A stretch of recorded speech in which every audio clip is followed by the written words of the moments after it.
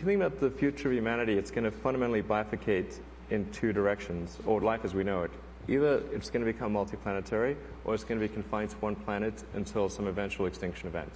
The, the goal with SpaceX is to um, improve rocket technology and spacecraft technology and, and keep, keep improving it every year until ultimately uh, we're able to send people to, to Mars and establish. Hmm.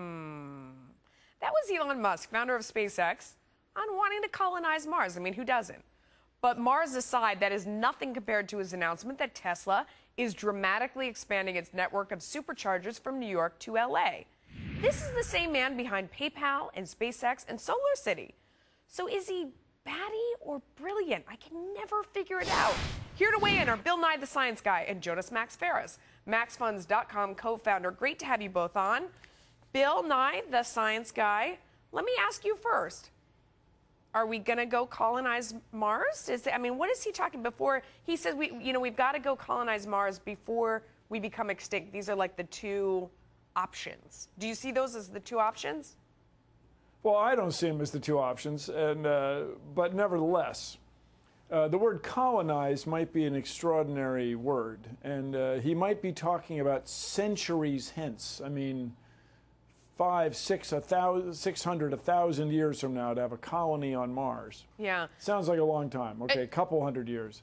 Here's the deal: if you if you want to live on Mars, I tell everybody go live in Antarctica for a couple years to see what you think. Not not near the coast not near the ice sheet. Uh, no, go go to the dry valley where it hasn't snowed for a couple hundred years. Yeah. And it's 20 below at noon. But that aside, what SpaceX is doing that's so uh, is so uh, admirable and worthy and great is they're working hard to lower the cost of space exploration. No, that that makes a, a, lot, lot of sense. But I, I just I want to yeah. stick to the first point just for one more second. I mean, it, the idea is eventually we're not going to be able to live here and we have to go find another planet. Do you agree with that or disagree with that? Well, I mean, when the sun gets to be, uh, starts to be a red giant and it expands out to the orbit of the Earth, yeah, we will have to do something else. Now, it is presumed, based on evolution, that we won't look much as we do now, but it is our dream yeah. as uh, genetic organisms that our genes will be out there in uh, several hundred years, a hundred uh, or maybe million years. When, when, will that happen? That the sun's going to expand so much it's going to just fry us to death? It's How a soon billion. is that? It's on the order of a couple billion years. Yeah. Okay. Um, listening to all this, Jonas, does it make you feel good as an Elon Musk investor, or does it make you nervous as an uh, investor in his in his previous genius? I mean, PayPal, wow, sold to eBay for 1.5 billion dollars. SpaceX you know, not turning a profit as far as I know, but, you know, doing some great stuff. Um, Tesla, absolutely on fire. What do you think? You feel good about him or you get a little nervous? Um, Elon hasn't had a failure since he was like 12 and he wrote this software game and sold it for like 500 bucks. So it's really hard to see a pattern of failure or any risk as a shareholder. But okay. at the same time, he's a little crazy. There's really no question about it, and I and I do think they kind of keep him quiet on certain some issues.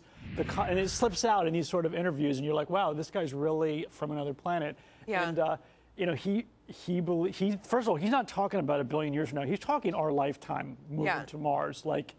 Somehow that's going to ever work out with the fuel problems and how far that is, and, and who's going to go when the meteor's going to hit here. Like, it, it, it's because a lot of dot com billionaires like sci-fi stuff. Yes. He was married, yes. I believe, to a fantasy writer at one point, and they have billions of dollars, so they could literally put these things into action and, and start space companies and things. And uh, for example, well, I, think a, I, think she's a novelist. I think she writes romantic novels. But anyway, go on. Yeah. Mysterious. Um, uh, he also believes in something called hyperlooping, which I keep thinking this is some fake thing on the internet, but he thinks there's a way to get from San. He, he doesn't like the bullet trains in California because he thinks there's a way to get from San Francisco to LA in under 30 minutes that costs less than a bullet train. It's some sort of like railgun okay. thing. It's totally whack.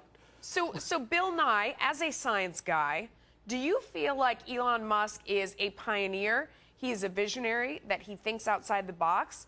Is he a little bit crazy? Is he both those things? I mean, what is your real sciency medical opinion here? Well, he's a genius, okay? And here's what he's doing. He is hiring the right people. I say this all the time. So he's got this idea. See, a lot of people want to send science experiments to Mars. Uh, and so there's a commercial, there is a, uh, a business model for this. And he and his uh, people, many, many of whom are former NASA employees, are working on a system to enter the Martian atmosphere at a much less, uh, nominally, much less complex approach, using uh, retro rockets to create a big envelope of drag rather than a supersonic parachute and a sky crane and so on. And this sounds extraordinary, but if he's able to, or his company, his colleagues, are able to lower the cost of getting to Mars to where it's on the order of, I'm picking a number out of the air, a billion dollars rather than $40 billion, it could very well change the worlds. Okay. And by the way, you say, you know, his company SpaceX isn't profitable, but they are providing a service. Oh, yeah. In, in the United States, everybody, or from both sides of the aisle, No, I, I'd wants much rather do it privately.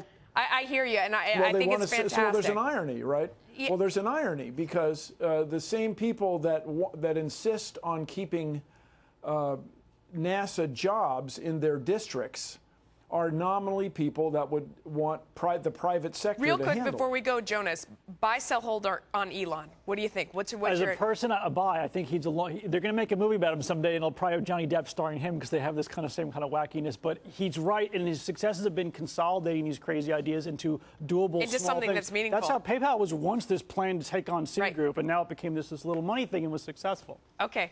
Guys, thanks so much. Appreciate it. That was a lot of fun. Oh fun. no. All right.